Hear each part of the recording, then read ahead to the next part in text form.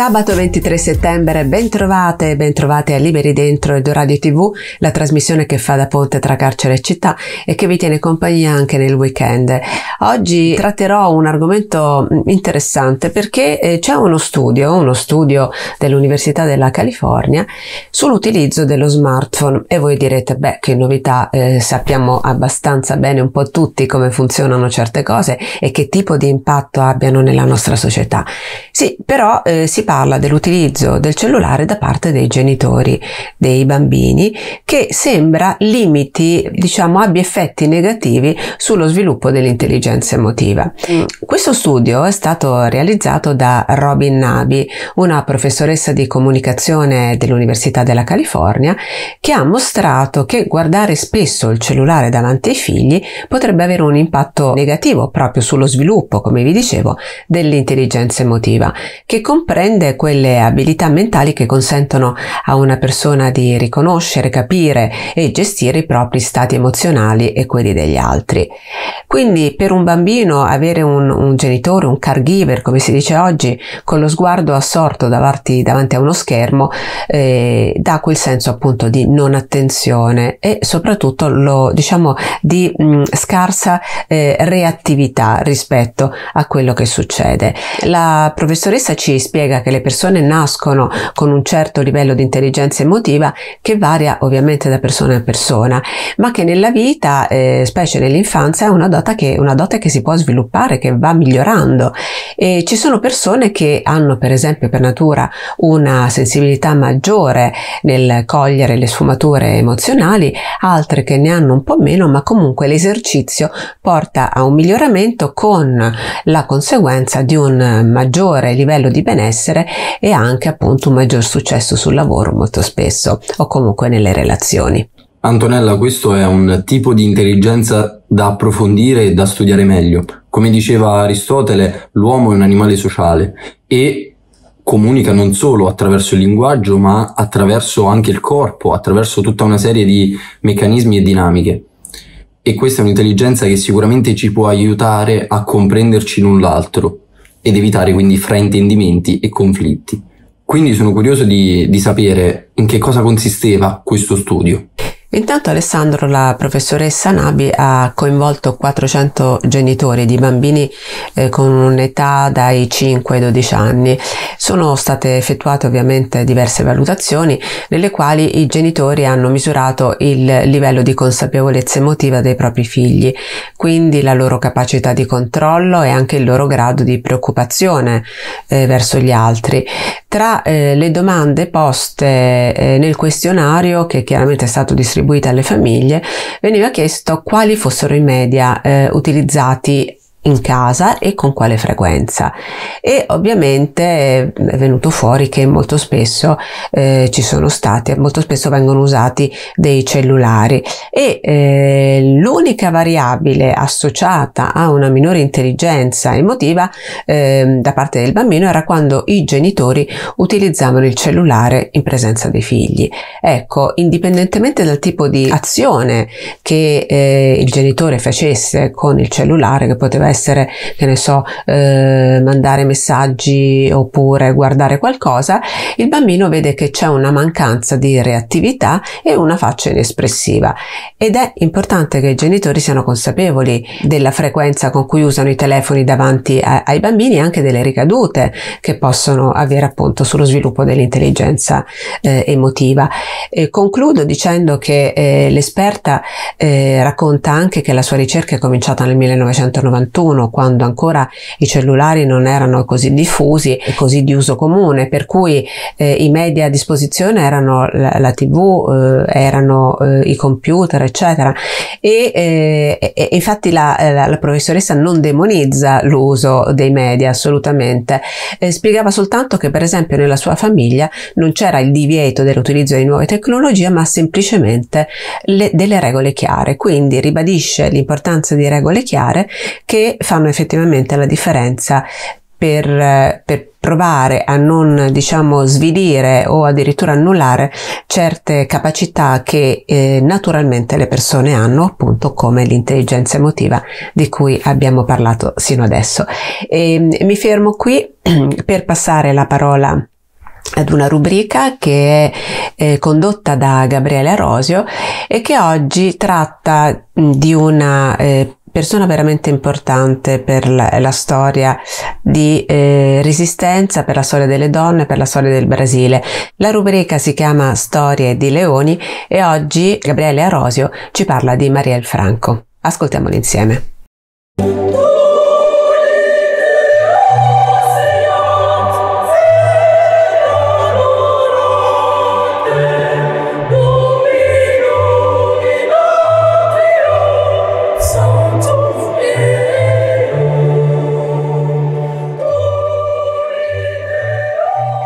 Ciao Gabriele, ben trovato. E oggi ci parlerai di una, di una, donna, di una Morgana, come avrebbe detto Michela Murgia, che il 14 marzo 2018 nella città di Rio de Janeiro viene assassinata e, e che si chiama Marielle Franco, una donna di 38 anni e, e questo sicuramente è stato il più grave delitto politico della storia recente del Brasile. E andiamo per un momento a quel giorno. Buongiorno Antonella, buongiorno a te e a tutti coloro che ci seguono in audio e in video. Un abbraccio a tutti i detenuti e le detenute che ci seguono dal carcere. Come hai detto, ecco, ci trasportiamo idealmente in una giornata particolare, il 14 marzo 2018. Una giornata che coinvolge Mariella Franco in qualcosa di drammatico. Si tratta di una vera e propria esecuzione. Marielle è freddata con diversi colpi di pistola alla testa provenienti da una macchina che ha affiancato alla sua. Insieme a lei muore l'autista Anderson Gomez e gravemente ferita una sua collaboratrice. Sono stati sparati 13 colpi in tutto. La polizia ha ritrovato nove bossoli calibro 9 sparati a poca distanza dalle vittime e senza nessun segno di rapina. Un agguato progettato per eliminare una voce scomoda, ma anche una delle favorite alle elezioni presidenziali del Brasile, che si sarebbero tenute di lì a qualche mese, a ottobre del 2018. Da quel momento decine di migliaia di persone il 14 marzo 2018 scendono nelle strade per veglie e cortei. Gridano Marielle, presente, davanti alle telecamere di tutto il mondo.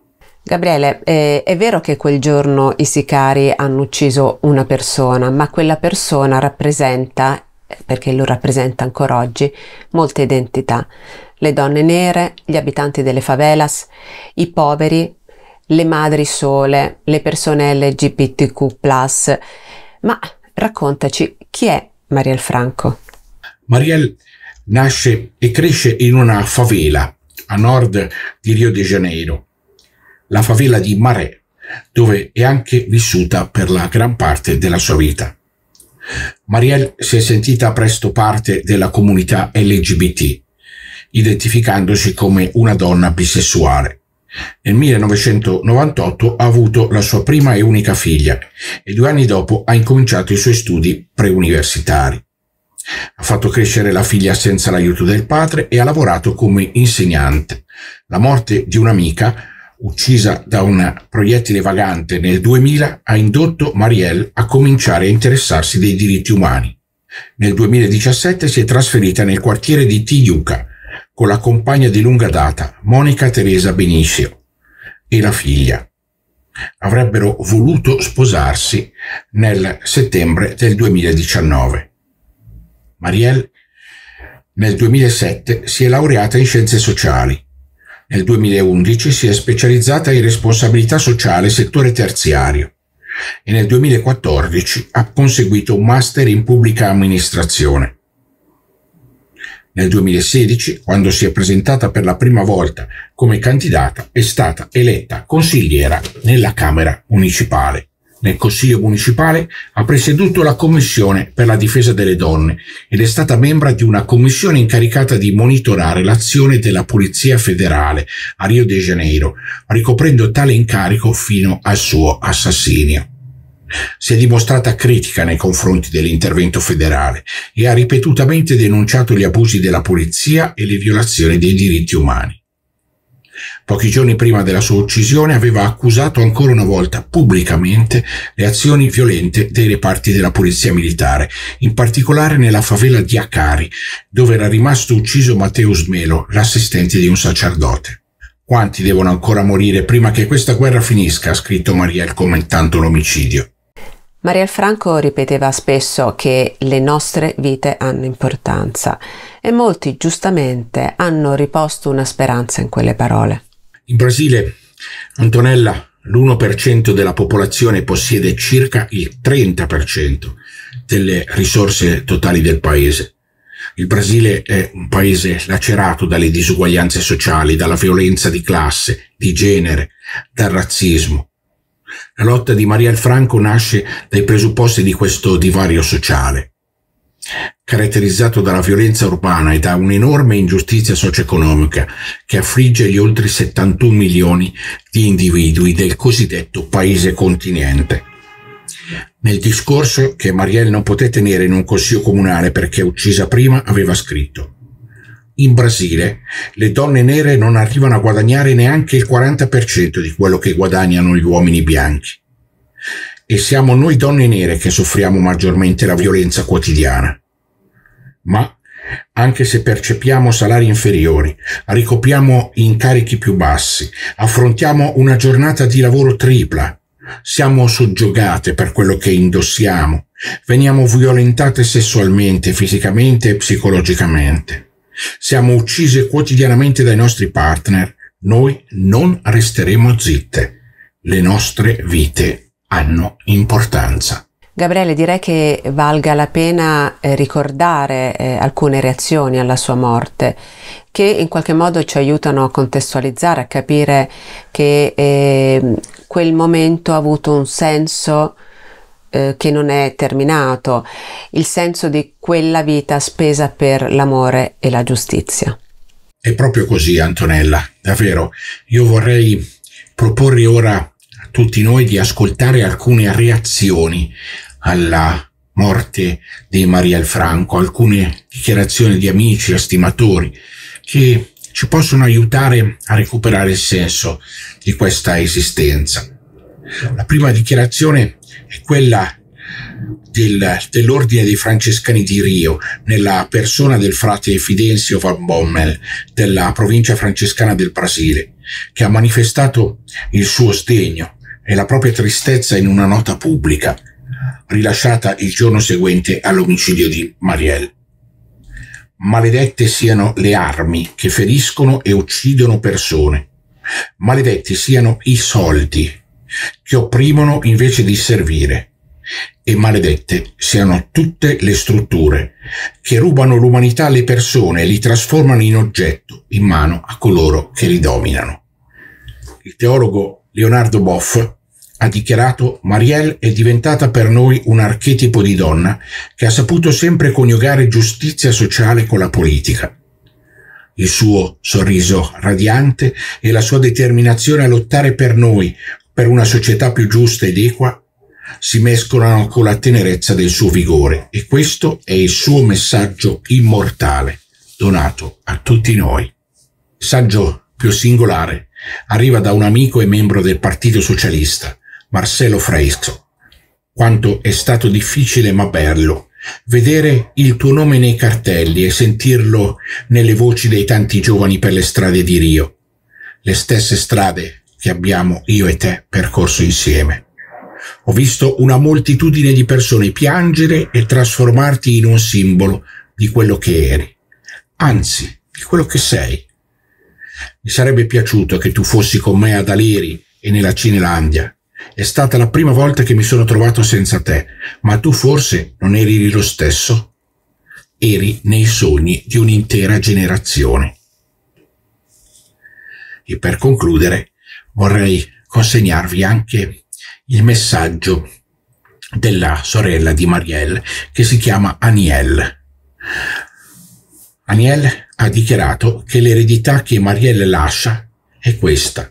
Le persone devono avere speranza, devono alzarsi ogni giorno e credere che ci saranno nuovi giorni. Dopo aver ascoltato Gabriele Arosio, passiamo al laboratorio di improvvisazione teatrale che è stato fatto all'interno della Dozza, nell'occasione dell'estate Dozza. Questo laboratorio è stato condotto da parte del Teatro a Molla, che ringraziamo tantissimo sia per la disponibilità sia per il bello spettacolo che ci ha fatto vedere. E ora ve lo proponiamo. E non perdetevi il gioco che hanno fatto dopo lo spettacolo, è stato molto bello. Ascoltiamoli. Ci scusiamo se la qualità dell'audio non è perfetta, ma come potrete ben immaginare, la casa circondariale Rocco D'Amato non è un luogo adatto alle registrazioni, né lo sono le altre carceri del resto. In ogni caso, questo le ha conferito sicuramente più autenticità. Quindi, buon ascolto.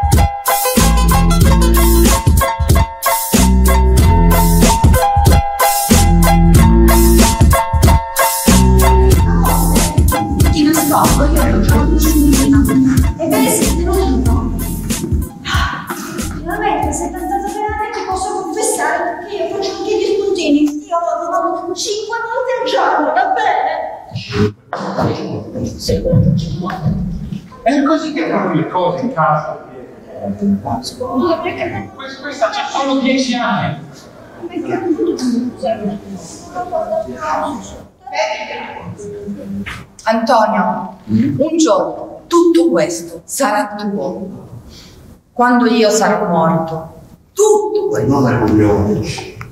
E quindi abbine cura, conservalo, perché è della famiglia. Assolutamente. Capito? Quando io non ci sarò più erediterai tutto. Abbine cura, Tom, abbine cura. Tom. Buongiorno, sono il bimbo della casa caldo. E che giocando, scusi, posso entrare, grazie. E che giocando di tempo il pallone nel suo giardino. Allora posso recuperare? Pallone? Sì. Grazie, la seguo perché in realtà io eh, vorrei dire la sua casa, la della giardino meravigliosa. Non potessi abitare qua un giorno, la mia casa è piccola, piccola, piccola. Pallone? Sì. Qua. No, famiglia. È caduto nella mia proprietà questo è il marino.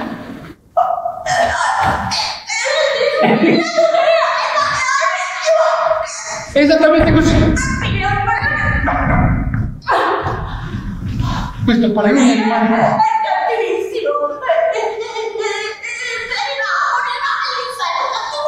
È povero! Se mi dai 10 mm. Hai capito che il vicinato non mi saluta più perché ho rubato un pallone a un bambino? Ma non ce ne vergogno! Ma cosa te ne fai con un pallone a un bambino? Qua è tutto mio. Ok? Ma cosa te ne fai con un pallone? Me l'ha lasciato mio padre qua. E que- No, pallone no, pallone è caduto qua. Allora se lo taglia mi cade con i suoi due piatti di grasso. È vero.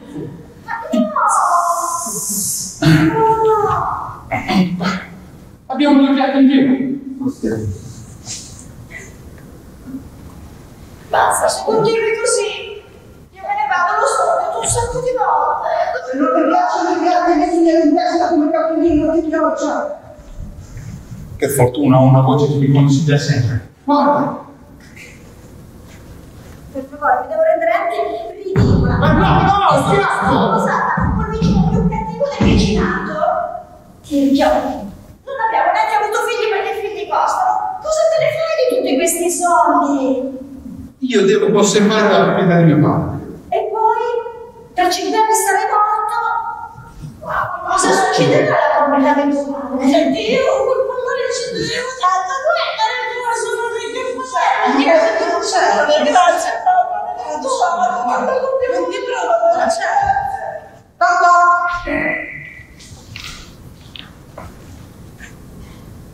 Buongiorno, eh, sono mamma di Piero, mi dico che appunto con il pallone. Eh, guardi, è molto affezionata, l'ha regalato suo papà per partire, suo papà un marinaio, sta via tanti mesi all'anno.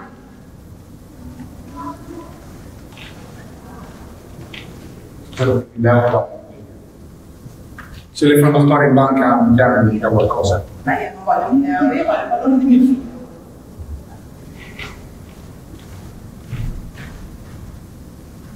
Perché ci ho fatto due piatti. Uno si è anche un po' rovinato. Io non posso ripagarlo sotto così.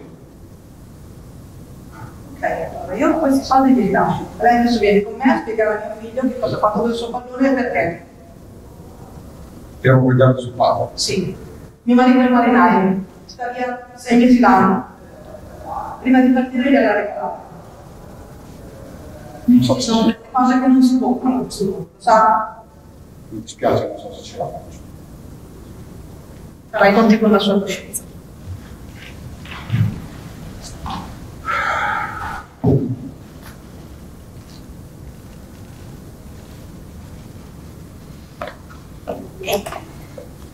Sai che al supermercato c'è il 3x2 dei biscotti e delle bibite. Poi Dovremmo fare una festicciona e invitare Piero e i suoi amici. Eh? Lo dici? Sì, po' di vita in questa casa.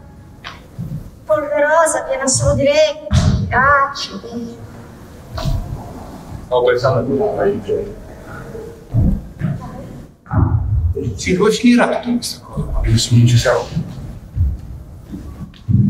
Ma se me ne vado via prima io, no, la posso lasciare a te. Sì, ma anche io prima o poi me ne vado, anche presto. E chi la lasciamo tutto questo? Che ne so, Perché non abbiamo fatto figli? perché costavano troppo. Perché costavano troppo i figli? Eh, siamo stati due egoisti. Dai, organizza la festa, chiama Piero, chiama qualcuno, non lo so. Sì.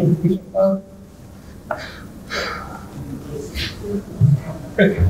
Ho buttato una vita intera a cercare di proteggere le cose di mio padre. E adesso? Prego, venite. No, no, guarda, possiamo mangiare un sacco di cose buone.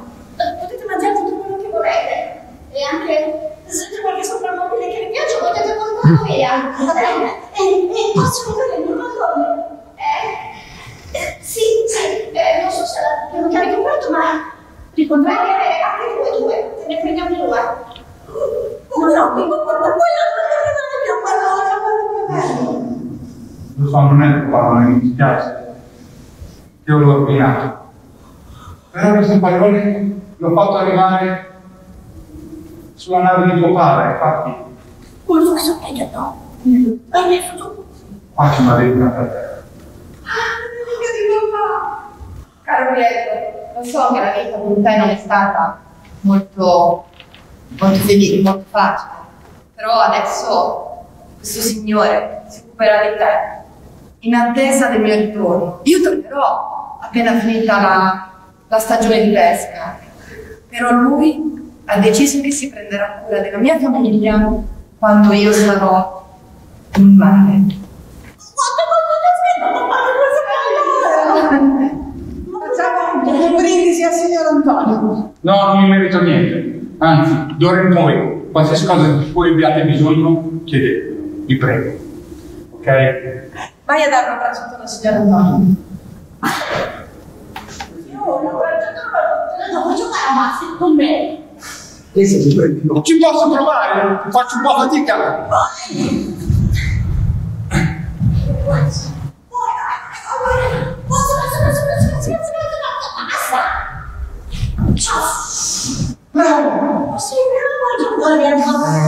Ma le piace di Non so se siamo vicini.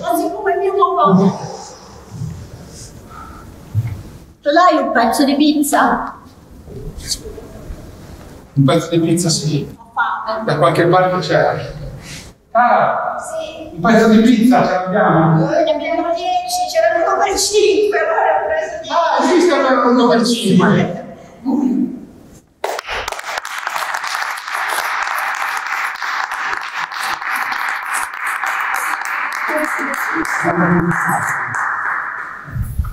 del pallone. Io sono a casa sull'acqua. Io sono un doppio. Io sono al sentiero e poi ballo qua. Io sono vicini.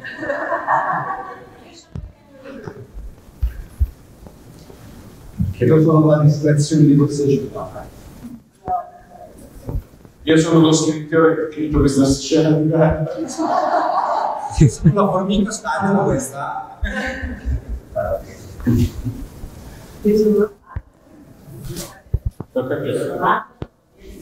Ho una foto. Ah, io sono là, porto mio tutti.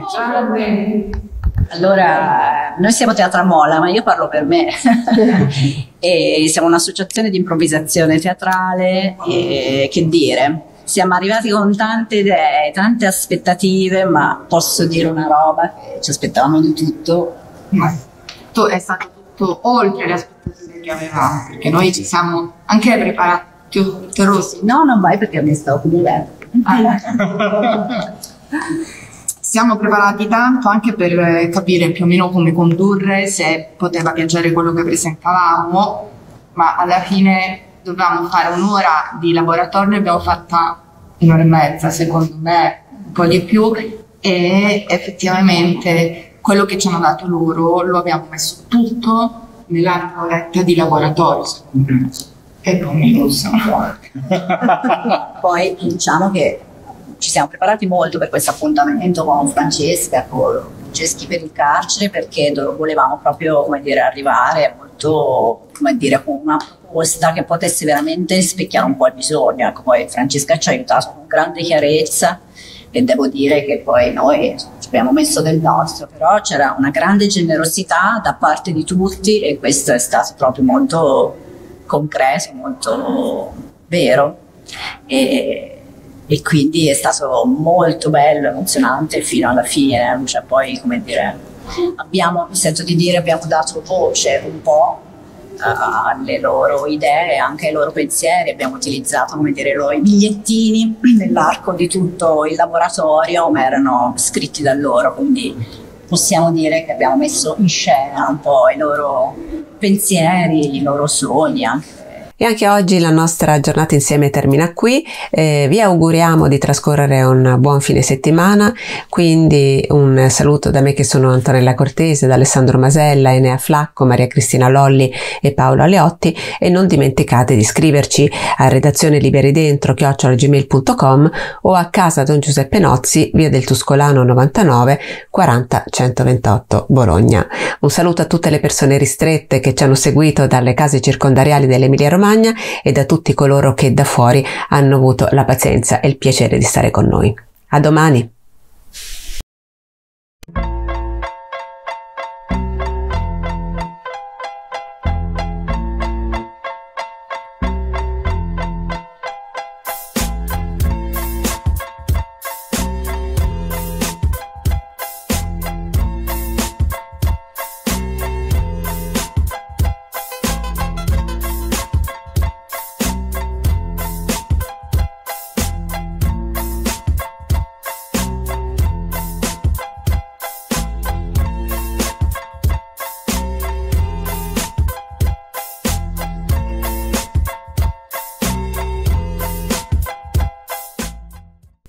Dona il tuo 5 per 1000 all'associazione Insight. Codice fiscale 91 42 79 50 372